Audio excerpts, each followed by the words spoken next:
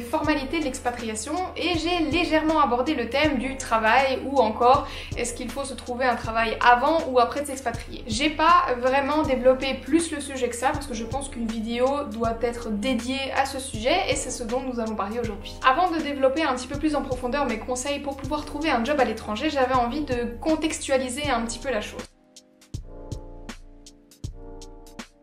Selon moi, ça va fortement dépendre déjà de 1 du pays parce que certains pays exigent en fait que tu aies un job avant de pouvoir venir. C'est l'une des conditions d'ailleurs du visa. D'autres pays sont un petit peu plus permissifs, mais personnellement, je te conseillerais toujours d'avoir au moins soit une activité complémentaire qui peut te fournir un minimum de revenus, soit d'avoir déjà trouvé un travail à l'étranger avant de rentrer dans le pays. Il y a plusieurs raisons à ça, bien évidemment. Hein. Le premier, c'est qu'il est assez difficile de pouvoir trouver un logement à long terme quand on n'a pas d'emploi. Parce que qui dit pas de travail dit forcément pas de revenus et il est assez compliqué de trouver un logement à long terme sans avoir une preuve en fait d'une rente mensuelle. Beaucoup de propriétaires ne veulent pas donner ou ne veulent pas louer leur appartement à des gens qui n'ont pas d'emploi. En tout cas en Allemagne c'est fortement le cas parce que la loi protège beaucoup plus les locataires que les propriétaires. Dans certains cas si tu trouves un propriétaire un petit peu sympa il te laissera en fait avancer les 2, 3, 4, 5 premiers mois de loyer avec une caution et te permettre donc de louer l'appartement pendant un certain temps sans avoir à avoir un emploi, mais dans la plupart des cas, ils n'ont pas forcément envie de courir ce risque. Alors tu vas me dire, oui mais c'est pas grave, entre temps je vais prendre un Airbnb et une fois que j'aurai un job, je chercherai un logement. Certes, c'est possible, mais tu vas être confronté à plusieurs petits problèmes. De 1, beaucoup de Airbnb refusent la domiciliation, c'est-à-dire que tu n'as pas le droit d'utiliser cette adresse de Airbnb comme étant ton domicile. Le problème, c'est que pour plusieurs formalités, tu vas avoir besoin d'une adresse de domiciliation, que ce soit pour la police, pour la commune, pour la visa, pour ton numéro d'identification, pour pouvoir avoir une carte de résidence, pour pouvoir avoir une assurance maladie, pour pouvoir immatriculer ton véhicule, pour pouvoir te créer un compte en banque. Bref, tu l'auras compris, l'adresse c'est primordial dans beaucoup de domaines administratif. Le problème aussi, c'est que quand tu auras un job, ton employeur te demandera le plus vite possible de fournir ton numéro d'assurance, mais également ton numéro d'identification pour les taxes et tout ça. Et ce numéro d'identification, tu ne l'obtiens uniquement que si tu es domicilié. Si tu te trouves donc dans un logement où tu peux pas te domicilier, bah tu es confronté à un problème et le fait de devoir trouver un logement très très très rapidement. Le fait de pas avoir d'emploi et le fait de pas avoir de logement, ça va bien évidemment un petit peu compliquer ton processus d'expatriation, t'apporter beaucoup plus de stress parce que outre le fait de devoir trouver un emploi assez rapidement pour pas dilapider en fait toutes ces économies dans un Airbnb, tu vas devoir également te trouver un logement. Si tu as de la chance, tu vas trouver un emploi assez vite, mais en même temps que tu débutes dans ton job, tu vas devoir trouver un logement, faire des visites, etc. Et là, tu vas te rendre vite compte qu'il va falloir en fait organiser des visites en pleine journée, en pleine semaine, parce que la concurrence est rude pour les logements et c'est pas forcément la première impression que tu as envie de donner à ton employeur de ah désolé mais je vais devoir m'absenter plusieurs fois par semaine parce que j'ai des visites d'appartement. Non, absolument pas. Dans ce cas de figure, tu peux demander à ton employeur pour commencer plus tard, ce qui te permet parfois par exemple d'avoir un à deux mois de délai pour pouvoir te trouver un logement. Bien évidemment, si tu arrives dans un Airbnb et ensuite que tu vas dans ton logement, bah va falloir faire un double déménagement et ça, encore une fois, tu préfères éviter. Et puis aussi, l'avantage d'avoir un job avant de rentrer dans le pays, c'est que parfois ton employeur t'aide à trouver un logement ou alors paye la location pour les premiers mois euh, de ton expatriation ou parfois, dans certains cas, il paye même ton déménagement donc il te donne une prime de 2-3 000 euros pour ton déménagement. Le fait d'avoir un job peut t'ouvrir parfois quelques portes quelques contacts aussi avec des propriétaires ou quoi que ce soit. Donc n'hésite pas à trouver un job d'abord. Après tu fais ce que tu veux bien évidemment. Il y a des gens qui vont trouver un job et un logement après, ça s'est bien passé. Je pense que c'est important aussi de se renseigner sur le pays ou la ville dans lequel on va pour savoir si le marché est assez permissif ou non. Mais garde ces petites choses en tête. Arriver dans un pays sans avoir énormément d'économies, sans avoir de job et sans avoir de logement, c'est quand même déjà un petit peu se compliquer la vie. En ce qui nous concerne, on a déménagé à deux, donc forcément c'était plus simple parce que si l'un des deux a déjà un contrat, ça aide fortement pour pouvoir trouver des logements. Cela dit, même en étant deux et en ayant un qui avait un emploi, on s'est rendu compte que c'était très compliqué de trouver un logement, donc j'imagine pas pour des gens qui n'ont absolument pas euh, d'emploi. Il faut savoir aussi que le système de garant à l'étranger ça fonctionne pas parce qu'il n'y a aucun moyen en fait pour le propriétaire de récupérer son argent même si tes parents se disent garant, absolument pas. Au mieux, il peut garder la caution, mais généralement, la caution va pas forcément couvrir en fait le nombre de loyers euh, que tu as à payer ou encore les démarches administratives et juridiques qu'il va devoir payer pour pouvoir te sortir de son appartement. Donc, peu de propriétaires l'accepteront. Aujourd'hui et en partie merci au Covid, beaucoup de processus de recrutement se font uniquement par vidéoconférence. Prévois une caméra qui a un minimum de qualité pour pouvoir faire ton entretien, mais on n'a plus forcément besoin que le candidat soit sur place pour pouvoir l'engager. Donc je pense qu'il n'y a pas trop de stress à avoir là-dessus. Il faut savoir aussi que si l'employeur souhaite vraiment te voir en personne avant de t'employer, généralement il payera pour ton billet d'avion et ton hôtel pour te voir en personne ou alors lui se déplacera. Ça arrive également, c'est un petit peu plus rare, c'est plutôt pour des postes vraiment à haute responsabilité. Mais pour les gens qui débutent dans le monde du travail, je pense pas vraiment que ce soit un problème de ne pas être sur place. Passons maintenant aux différentes étapes pour pouvoir trouver un emploi à l'étranger. Première chose, s'il vous plaît, arrêtez de mettre plein de formes, de couleurs, de graphismes un petit peu psychédéliques dans vos CV ça ne sert absolument à rien. La plupart des recruteurs ont l'impression que vous essayez de détourner leur attention parce que votre CV est totalement vide de sens. Il y a plein d'autres manières de compenser en fait ce manque d'expérience dans un CV et je vais vous expliquer comment. Mais à moins que tu fasses des études dans la communication, le design ou euh, que tu cherches un emploi dans tout ce qui est un petit peu graphique, ça ne fait pas de sens de mettre plein de couleurs et plein de formes dans un CV. Surtout si à terme l'assistante veut imprimer le CV pour le donner au patron pour et qu'au final, bah, avec les différentes couleurs que tu as utilisées dans ton CV, ça rend la chose totalement illisible.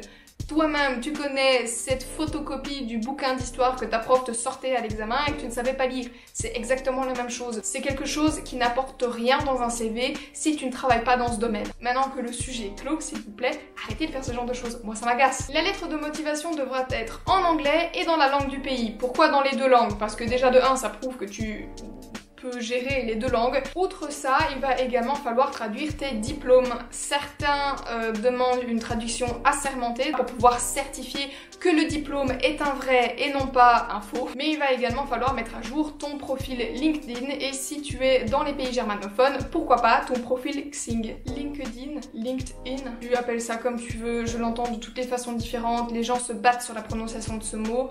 J'en ai rien à faire de ce débat. Voilà, donc je le prononce comme j'en ai envie. Autre petite chose, quand tu écris ta lettre de motivation, essaye de faire en sorte qu'elle soit facilement adaptable.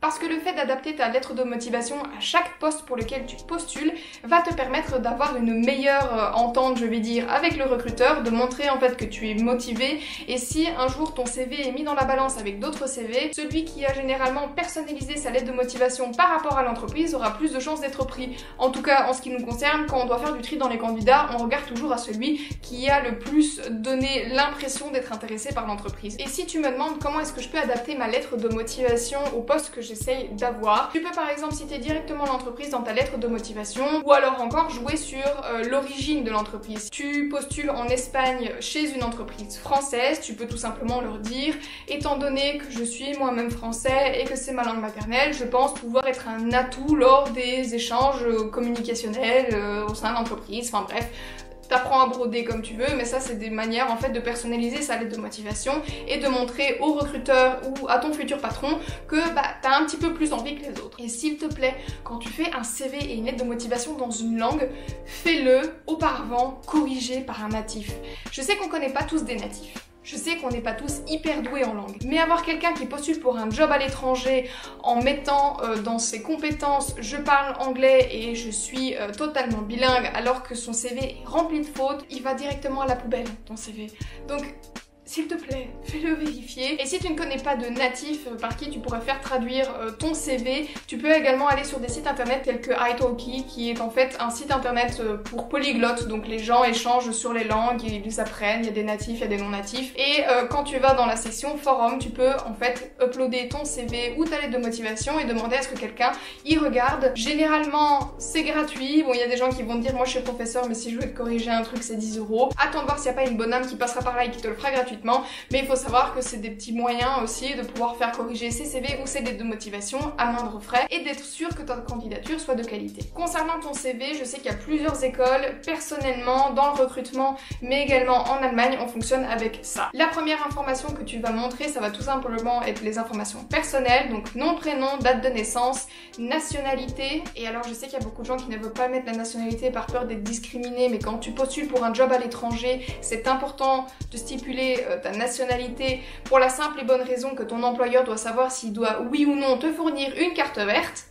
Voilà, hein, ce n'est pas une question de discrimination, c'est juste une question d'administration. Tu peux ajouter une photo, c'est pas obligatoire, mais c'est toujours un petit peu plus sympa d'avoir la photo. Tes données pour te contacter, donc adresse mail, adresse euh, actuelle, mais également ton numéro de téléphone. Ensuite, c'est pas obligatoire, mais tu peux mettre une petite phrase pour te décrire, quelque chose qui te représente et quelque chose qui apporte un, un petit peu de valeur. Si ça n'apporte pas de valeur à ta candidature, tu peux l'oublier. Ensuite, tu vas mettre ton expérience professionnelle, donc tout ce que tu as pu faire, job étudiant, stage, expérience euh, si tu n'as pas d'expérience ou de réelle expérience professionnelle, les stages ça fonctionne et les jobs étudiants ça fonctionne. Comment étoffer ton CV et donner l'impression que tu es quelqu'un d'important alors que t'as pas fait grand chose de ta vie? Tu peux tout simplement mettre entre chaque expérience professionnelle des petits bullet points et en fait stipuler ce que tu as fait dans tel et tel métier. Par exemple, je suis assistante de direction mais je travaille également dans les ressources humaines, je fais également les bilans financiers, je prépare les visites clients, je fais également du project management. Bref, je ne me contente pas uniquement de tout ce qui est assistana, photocopie, café, tu l'as compris d'ailleurs je fais pas le café vu que je fais du office. Il faut savoir qu'un titre, ça reste un titre. Il y a certains qui sont assistants de direction et qui sont plus en fait secrétaires qu'assistants de direction et il y a des gens qui sont assistants de direction mais qui sont plutôt managers qu'assistants. Donc c'est toujours un petit peu sympa en fait de mettre euh, avec des petits tirets ou des petits points toutes les différentes choses que tu as fait en fait durant euh, ton expérience professionnelle. Bien évidemment, il faut que ça rapporte encore une fois quelque chose à CV, hein, donc euh, excite les trucs pas très importants. T'essayes vraiment de mettre ça en avant. il faut pas mitonner non plus, hein, parce que ça se remarque très vite si tu mens sur ton CV. Mais tu peux un petit peu enjoliver la réalité. Bien évidemment, quand tu organises ton CV, tu mets ça du plus récent au plus ancien. Ensuite, après l'expérience professionnelle, tu mets ton éducation, donc euh, tous tes diplômes, euh, même si c'est des formations supplémentaires, ça compte, tu peux les mettre dans ton CV. Tu mets également ton université et c'est intéressant aussi encore une fois, de mettre en fait les différents points de ce que tu as pu apprendre à l'université et avec la mention que tu as reçue en fin de parcours. En ce qui me concerne, j'ai fait un master en communication multilingue à finalité langue des affaires. Bref, au final, c'est un long titre qui te permet pas forcément de comprendre ce que j'ai étudié, donc je mets tout simplement des petits points en disant bah j'ai étudié les relations publiques, j'ai étudié la stratégie d'entreprise, j'ai utilisé la communication multilingue, j'ai appris tout ce qui était multiculturalité. Voilà, ça c'est des choses que tu peux mettre dans ton CV parce que ça apporte un plus et ça permet au recruteur de savoir dans quel direction tu. Autre chose à mettre sur son CV après tout ce qui est éducation, c'est bien évidemment les connaissances des langues et les connaissances supplémentaires telles que les programmes comme Microsoft Word, Adobe, etc. Tu peux également mettre tes hobbies. Une fois que tous tes documents sont prêts, donc CV, lettre de motivation, diplôme traduit, mais également tes profils sur les réseaux sociaux, tu vas pouvoir commencer les recherches. Pour faire ta recherche, je te conseille des sites tels que Stepstone, Monster, Indeed. Tu peux également trouver des jobs sur LinkedIn, donc euh, ça fait sens de mettre son profil à jour et tu peux directement postuler en un bouton, donc t'as pas besoin de chaque fois t'encoder dans le système, etc. En fait, ça envoie une copie de ton profil LinkedIn au recruteur, donc c'est très très très pratique. Il faut savoir aussi qu'il y a d'autres organisations ou organismes qui te permettent de trouver un emploi à l'étranger, comme par exemple le Pôle emploi ou le Forum de ton pays. Donc tu vas tout simplement chez eux et tu leur demandes s'il y a des postes à pourvoir à l'étranger ou s'il y a des programmes spéciaux qui te permettraient de t'expatrier. En tout cas, en Belgique, ça existe. Je suppose que ça existe dans d'autres pays également. Au consulat, aux ambassades, au tout ce qui est communauté francophone d'Allemagne ou ce genre de choses, euh, c'est euh, des endroits où tu peux aller demander s'ils ont des postes à pourvoir ou encore s'ils ont des tuyaux à te donner. Et parfois, tu arrives à trouver des jobs dans des écoles ou alors euh, comme chef de projet pour telle ou telle chose dans des bibliothèques. Enfin bref, il y a plein d'emplois et généralement, ça va être plus sur ce qui est axé bilinguisme donc il va falloir avoir le français plus la langue du pays, mais c'est une autre possibilité pour pouvoir trouver un emploi. Étape supplémentaire que je te conseille fortement, c'est de t'inscrire dans une ou plusieurs agences de recrutement. Donc tu vas tout simplement envoyer ton CV et les recruteurs qui travaillent dans ces agences viendront te contacter s'ils ont des jobs qui pourraient t'intéresser. C'est aussi hyper intéressant parce qu'il va négocier pour toi le meilleur des salaires, parce que le recruteur est payé à la commission. Donc plus ton salaire est grand, plus il gagne des sous. Donc c'est toujours hyper intéressant, surtout quand t'as pas forcément énormément d'idées sur quel est le marché euh, de l'emploi actuellement et quel salaire tu peux demander, le recruteur sera là en fait pour pouvoir te conseiller, mais également pour te préparer à ton entretien d'embauche si c'est un bon recruteur. Si c'est un mauvais recruteur, il le fera pas. Mais c'est pour ça qu'on va avoir d'autres conseils là-dessus. Moi, par exemple, je me suis inscrite chez Michael Page et c'est grâce à Michael Page que j'ai eu l'emploi que j'ai eu. Ça a mis une semaine Franchement, hyper, hyper efficace. Quand tu postules pour une entreprise, il est toujours un petit peu nécessaire de se renseigner, de un, pour pouvoir adapter ta lettre de motivation, mais également pour pouvoir voir d'autres choses telles que où est-ce que l'entreprise est située, combien de temps en transport en commun j'ai besoin ou en voiture, et encore si je dois par exemple prendre une carte de transport, combien est-ce que ça me coûte par mois. Grâce à ça, tu vas pouvoir un, négocier ton salaire à la hausse, ou alors deux, demander des avantages, comme par exemple une voiture de fonction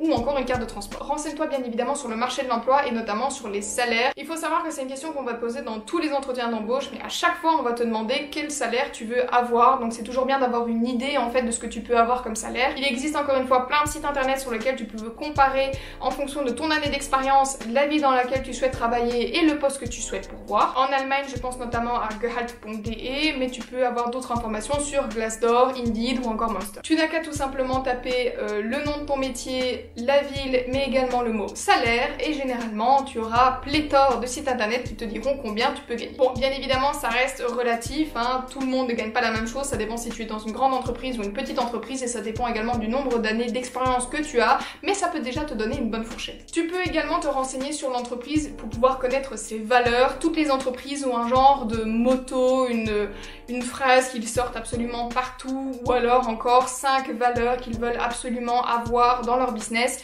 Ces valeurs, tu peux tout simplement les prendre et les ajouter dans ton CV. Tu verras si la personne qui te recrute est bonne. Généralement, ça fera tilt et tu auras beaucoup plus de chances d'être connu. Si tu as de la chance, maintenant, tu as un entretien d'embauche. Comment ça se passe? Généralement, ça se passe en deux rounds. Donc, tu as un premier round au téléphone qui est une prise de contact avec le recruteur. Et ensuite, tu as un deuxième round qui, généralement là, est une séance de vidéoconférence ou alors encore un meeting en face à face. Cet entretien d'embauche, il doit être La pire impression que vous pouvez faire, c'est vraiment arriver là-bas et ne pas savoir ce que l'entreprise fait ou encore ne pas savoir pourquoi vous êtes là. On va vous demander plein de questions durant l'entretien. Vous devez savoir pourquoi vous êtes là, pourquoi vous avez choisi cette entreprise, euh, pourquoi vous voulez travailler, qu'est-ce qui fait de vous un meilleur candidat que les autres, euh, mais également avoir des questions à leur poser, mais des questions qui font sens. Travaille également sur ta prononciation et ta manière en fait d'agir, de te mouvoir, c'est très important. N'hésite pas à t'entraîner devant la glace en fait à répondre à des questions. Renseigne-toi sur l'entreprise. Encore une fois, normalement si tu as adapté ta lettre de motivation, tu sais déjà un petit peu d'informations sur l'entreprise, mais essaye d'en savoir le plus possible. Quels sont les domaines d'application de l'entreprise, quels sont les plus gros clients qu'ils ont eu, quel est son chiffre d'affaires, quand est-ce qu'elle a été construite, dans quel pays elle est présente. Il peut y avoir plein de choses. Moi, je sais que j'ai appris l'histoire de ma boîte par cœur lors de l'entretien. Mon patron m'a bien évidemment posé la question qu'est-ce que tu connais de notre entreprise? Parce que cette question sort à chaque interview. Je lui ai sorti toute l'histoire de ma boîte et il m'a dit bah écoute je suis hyper impressionnée parce que même moi je savais pas tout ça. Et c'est là que ça fait la différence. Et si un jour vous êtes deux candidats qui avaient le même CV, les mêmes compétences, si on doit décider entre l'un ou l'autre, ce sera généralement celui qui a donné le plus de motivation en fait lors de l'interview et lors de la préparation de l'interview. Ça montre également que tu as confiance en toi. Alors déjà que tu es expatrié et que tu perds un petit peu d'avance par rapport aux autres parce que c'est pas ton domaine, c'est pas ton pays, on peut se dire ok est-ce qu'elle va tenir la route? Mais alors si tu montes pas que tu as confiance en toi et que t'as pas préparé ton interview, il y a encore moins de chances que tu aies le job. Tu peux trouver sur internet énormément de questions typiques que les ressources humaines posent aux candidats, comme par exemple quelles sont tes meilleures qualités, quels sont tes pires défauts, quelle est la journée type, euh, qu'est-ce que tu détestes, comment est-ce que tu t'imagines dans 5 ans. Il y a, je pense, une liste de 50 questions disponibles sur le net. Tu les prépares bien évidemment dans les deux langues pour être sûr qu'il n'y ait pas de trop de problèmes et que tu sois euh, à l'aise dans les deux langues. Et n'oublie pas également de poser des questions à ton employeur. Ce sera l'une des parties de ton interview, ce sera vraiment connaître plus l'entreprise et avoir le temps de poser tes questions. Si tu n'en poses pas, soit tu t'es trop bien renseigné sur l'entreprise, ce qui n'est pas forcément mauvais, mais c'est toujours bien de poser l'une ou l'autre question. Une question qui en jette beaucoup auprès des recruteurs, c'est vous me recrutez pour l'instant dans tel rôle, mais comment est-ce que vous voyez ce rôle dans 5 ans? Comment est-ce que vous voyez qu'il se développe? Qu'attendez-vous de moi pour pouvoir être pris? Euh, Voilà, ça c'est le genre de choses où en fait tu te projettes dans l'entreprise, dans son futur, et ça généralement ça impressionne un petit peu les recruteurs. Maintenant que l'entretien est fait et que possiblement tu as impressionné toute la galerie, on peut potentiellement t'offrir un contrat. Le contrat, avant de le signer, tu le lis s'il te plaît. Le contrat en fait indique tout ce qui se passe dans une entreprise. Ça va permettre aussi de comprendre tes heures de travail, ce que tu peux faire, ce que tu peux pas faire, si tu as un contrat d'exclusivité et ça c'est hyper important parce que si tu as un contrat d'exclusivité, tu ne peux pas cumuler deux activités. Si tu peux faire du home office ou si tu peux pas faire du home office, si tu peux travailler l'étranger, ça c'est hyper important pour les expatriés, je trouve, parce que parfois bah t'as des problèmes familiaux ou quoi que ce soit, tu dois retourner sur le pays mais tu sais pas forcément prendre de congés parce que t'as trop de projets ou trop de travail sur la planche, bah tu peux tout simplement demander à ton employeur de travailler travailler en fait dans ton pays d'origine. Moi par exemple, je sais que je peux travailler en Belgique, mon patron s'en fout. Ça permet également de savoir si tu as des bonus, euh, si tu peux avoir euh, des avantages comme par exemple la voiture de fonction ou encore une carte de transport. Si tu en as parlé pendant l'entretien et que tu vois que ça n'est pas stipulé dans ton contrat, il faut demander à ce que le contrat soit révisé. Et également tout ce qui est euh, jours de congé, si tu peux récupérer tes heures supplémentaires, si tu prends pas tous tes jours de congé, est-ce qu'ils sont mis à l'année d'après ou est-ce qu'ils te sont payés ou est-ce qu'ils sont perdus? Enfin, c'est une mine d'or d'informations. Tu as également tout ce qui est préavis et le préavis c'est important donc lis bien ton contrat avant de le signer. Et si tu signes, félicitations. Si tu ne signes pas, ce sera pour la prochaine fois. J'espère que cette vidéo aura pu t'être utile. J'ai vraiment essayé de partager tous les conseils que je pouvais avoir en tant qu'expatrié, mais également en tant que recruteur, parce que bah je m'occupe des recrutements dans ma boîte, donc euh, je deal un petit peu avec ce genre de choses et euh, je sais très clairement ce qui plaît et ce qui ne plaît pas. Mon homme est également recruteur de métier, donc je pense que tous ces conseils sont bons à prendre. En attendant, si tu as d'autres conseils, n'hésite pas à le dire. Il y a peut-être des choses que j'ai oubliées. Si c'est le cas, je n'hésiterai pas à le mettre en commentaire. N'hésite pas à t'abonner si l'expatriation ou le voyage t'intéresse. La semaine prochaine, on parlera de trouver un logement à l'étranger. Donc euh, si ce thème t'intéresse, n'hésite pas à t'abonner et j'espère qu'on se retrouvera la semaine prochaine pour une nouvelle vidéo. Ciao